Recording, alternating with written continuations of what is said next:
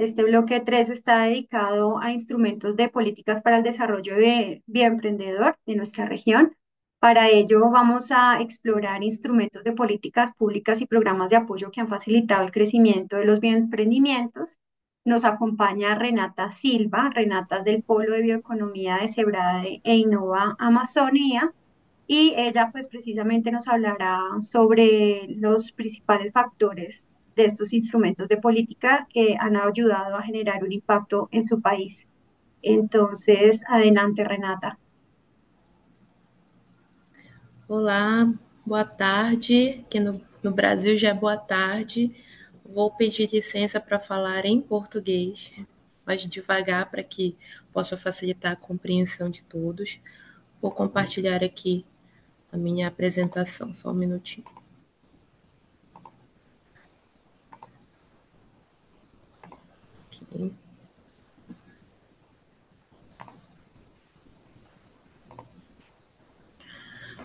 Bom, como mencionado, eu me chamo Renata, eu trabalho no Brasil em uma instituição de apoio a micro e pequenas empresas e vou falar um pouquinho sobre as políticas para o desenvolvimento de bionegócios aqui no estado do Pará, é, em Belém especificamente. É, o, a empresa que eu trabalho chama-se Sebrae eu achei importante contextualizar qual que é a atuação do Sebrae. O Sebrae ele está presente em todos os estados federativos do Brasil, 27 estados, e em, no Pará não é diferente, né? O Sebrae Pará é uma empresa que existe para incentivar o empreendedorismo, auxiliar quem está nessa jornada de empreender através de programas de capacitação, estímulo à competitividade, sustentabilidade e trabalha para proporcionar um ambiente que fortaleça o pequeno negócio que fortaleça um ambiente favorável ao crescimento dos pequenos empreendedores. O Sebrae no Pará possui 13 agências de negócios. O estado do Pará tem uma dimensão considerável. Dentro do estado do Pará, no Brasil, cabem muitos países europeus, por exemplo, a nível de extensão. E para atendimento a todo o território, existem agências de negócios sedes do Sebrae espalhadas pelo Estado. São 13 agências de negócio que, que funcionam como um suporte do empreendedor ao longo do Estado. É, eu, atualmente, estou à frente da Unidade de Sustentabilidade e Inovação, que fica sediada em Belém. A nossa prioridade desde os últimos três anos é fortalecer a bioeconomia, entre outros projetos. A bioeconomia é um carro chefe do Sebrae Pará, e isso aliado a uma estratégia do governo do estado do Pará de também priorizar essa economia como uma fonte de desenvolvimento econômico para o estado. Em 2022, foi lançado pelo governo do estado do Pará o Plano Estadual de Bioeconomia e o SEBRAE, como um grande parceiro do governo do estado, estruturou programas de fomento a negócios da bioeconomia. Além disso, ainda não sabíamos que a COP30 seria confirmada Belém, em Belém, mas é, todo esse trabalho acabou culminando para uma estratégia muito acertada para trabalhar a bioeconomia já em preparação para a COP30, uma vez que essa temática vai ser um dos pilares principais na COP da Amazônia. E pensando em como, como trabalhar a bioeconomia dentro de uma lógica sistêmica, é, o sistema Sebrae é, estruturou o que nós chamamos de Nova Biomas Sebrae. É, esse programa ele foi concebido para atuar em regiões produtoras de alimentos consideradas estratégicas pelo volume de contribuição é, e pela sua biodiversidade. E aqui no Pará nós trabalhamos com o bioma Amazônia, assim como nos nove estados da Amazônia Legal no Brasil. E o grande objetivo do Inova Amazônia é promover negócios inovadores e soluções sustentáveis na Amazônia. É um programa de aceleração para o desenvolvimento de negócios inovadores e sustentáveis, é, a ser executado em todos os biomas brasileiros, mas eu vou me ater ao Inova Amazônia, Bioma Amazônia, que é o carro-chefe do SEBRAE no estado do Pará.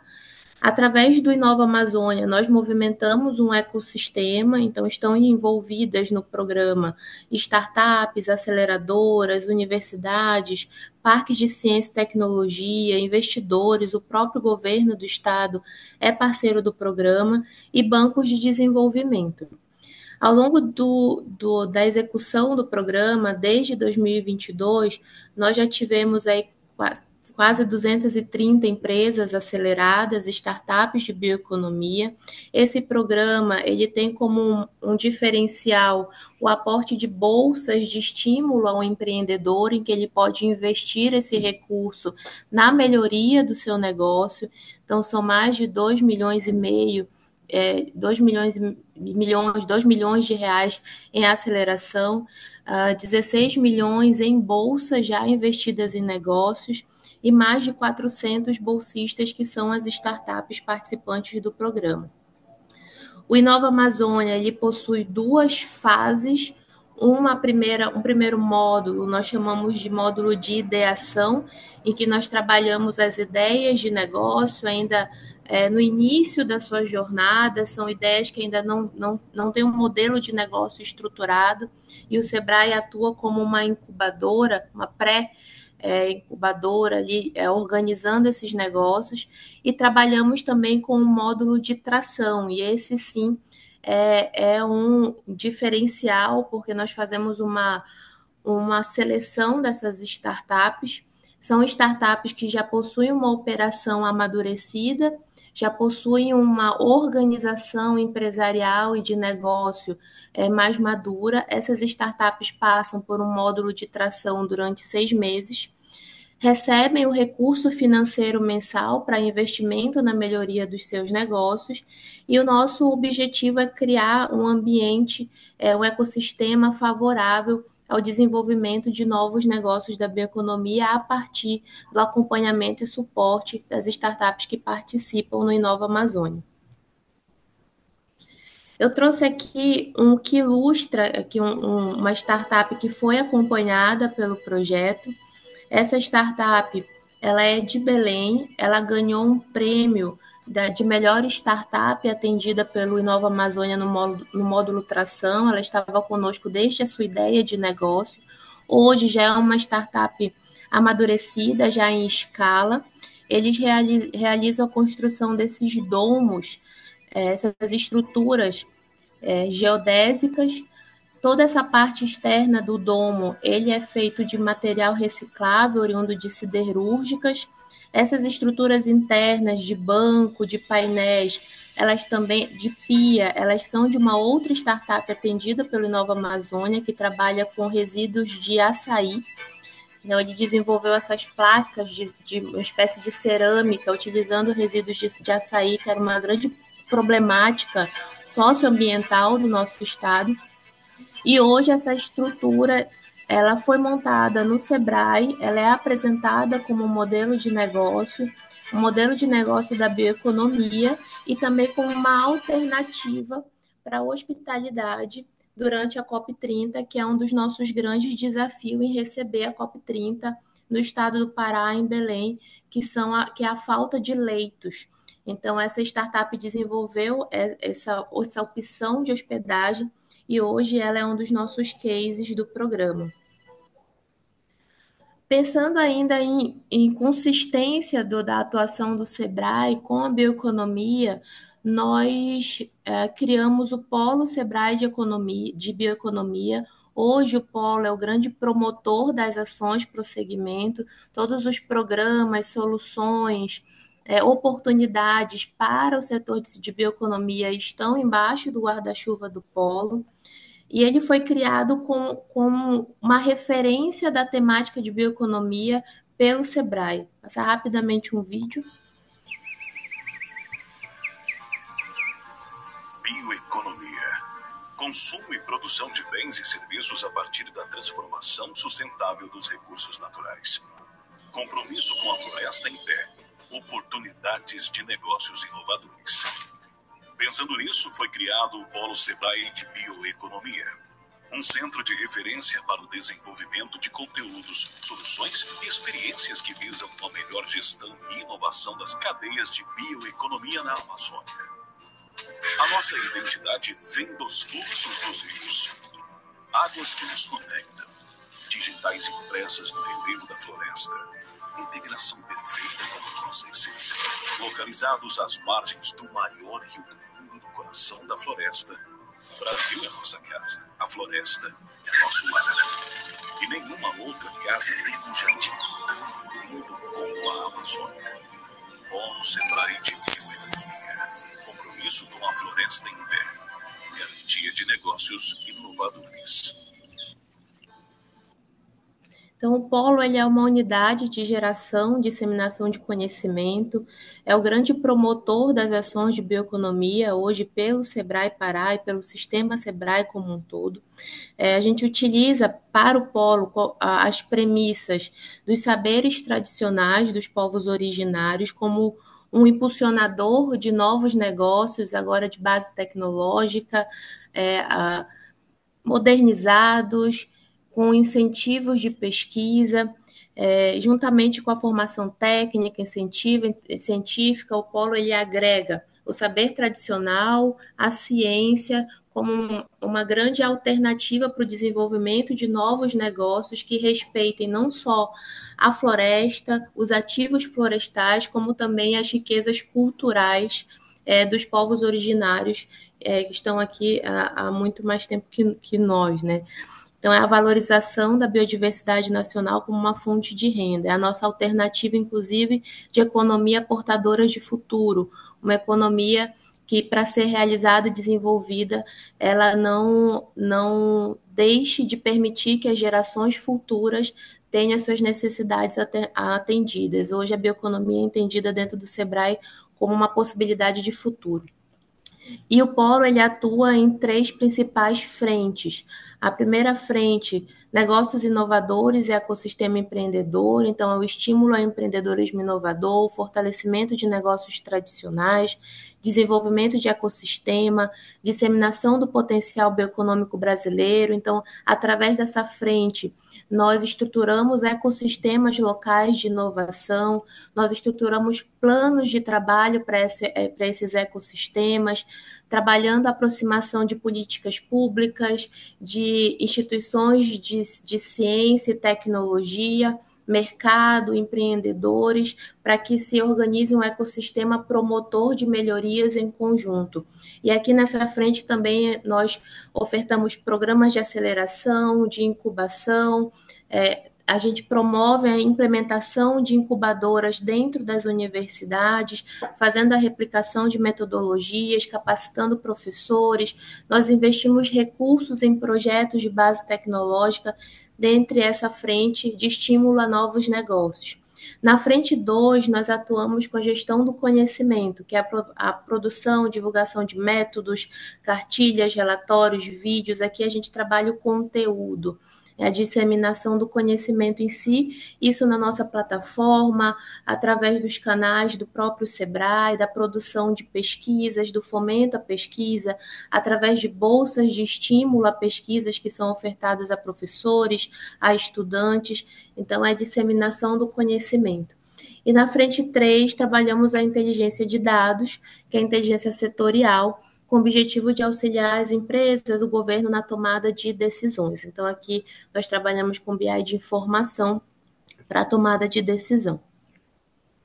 De uma maneira geral, a atuação do SEBRAE está pautada na bioeconomia entre esses dois pilares, do Polo Sebrae de Bioeconomia e do Inova Amazônia, e agora com a, com a vinda da COP30, com a confirmação da COP30 sendo realizada no Brasil, no estado do Pará e em Belém, essas ações se intensificam e são agregadas a outras vertentes de atuação focadas em quatro eixos prioritários, como economia criativa, hospitalidade, mobilidade urbana, restaurantes e lanchonetes, alimentação fora do lar, e a bioeconomia hoje ela é transversal e perpassa por esses quatro pilares centrais de atendimento. Eu agradeço o convite, deixo o meu contato, né, fico à disposição para perguntas, conexões, E mais uma vez é um grande, uma grande honra apresentar o trabalho do Sebrae é, para a bioeconomia aqui no webinar. Obrigada. Gracias, Renata, a ti por presentarnos todos estos servicios y este modelo operativo que tiene Sebrae y, y todas estas alineaciones de estrategias que se tienen. Eh, bueno, pregunto, Cintia, eh, ¿por tiempo logramos hacer el ejercicio interactivo o pasamos al bloque 4? Bueno, hacemos un ejercicio interactivo, si les parece. Pueden ir preparando los celulares para escanear un, QR y responder algunas preguntas em, para ir teniendo algunos insumos sobre lo que, lo que van considerando sobre los temas que vamos tratando durante el webinar. Voy a compartir la pantalla.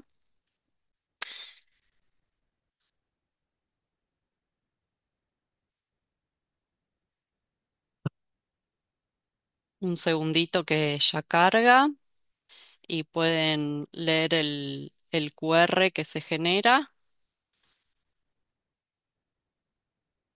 Se puede ver y acá la idea es que puedan decirnos qué tan ef- efectivo consideran el apoyo de instituciones gubernamentales para el éxito de eh, bioemprendimientos en la región.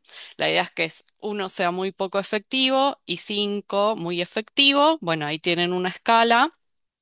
Los que puedan ir Eh, Cintia, ¿en el mundo ideal o En la realidad, en la realidad, queremos que esto sea un insumo que después sirva para para los grupos de trabajo de la red, ir eh, generando espacios, eh, productos o iniciativas que vayan atendiendo lo que las opiniones de los participantes de los diferentes webinars y espacios de intercambio que tenemos. Así que ahí en general va es muy efectivo, pero tenemos un poquito de todo. Bueno, pueden ir respondiendo y si les parece, mientras vamos también a, igual con, con la lectura del QR, van a seguir teniendo el QR disponible para la próxima pregunta y pueden responder primero esta. Eh, la idea es que acá puedan contar cuáles son los factores más importantes para propiciar una mayor colaboración es- entre los actores regionales a fin de crear un entorno más favorable para la innovación y tienen diferentes opciones, capacitaciones sobre desarrollo emprendedor, herramientas que faciliten la transferencia tecnológica, canales de divulgación de bioemprendimientos, fondos de inversión con envergadura regional, capacidades conjuntas para la comercialización de, bios- de bioproductos y hay otras también. Ahí pueden ir eh, contestando según lo que ustedes vayan considerando más relevante. Eh, Cintia, como Sí, hay personas conectadas por su celular, les queda mucho más sencillo si podemos enviarles posiblemente el link. bien. Es que, mm, a ver si lo copio acá. A ver, hago el intento porque como estoy compartiendo pantalla, mm, no me deja enviarles el chat. Tendría que dejar de compartir. Si Eh, no, déjame, es, yo intento. si no Listo. está copiado el link en, en el organi- la organización de en la presentación de los bloques, que lo pueden copiar de ahí y compartir en el chat. Otra forma de ingresar es entrar a través de slido.com y con el numeral 1964538 pueden acceder también a participar. Así como indica Paola, es así. Si no pueden poner slido.com y el código es el hashtag 1964538. Bueno, están todas bastante parejas las, las, las opciones. Bueno, acá hay algunas más abajo, canales de divulgación de bioemprendimientos.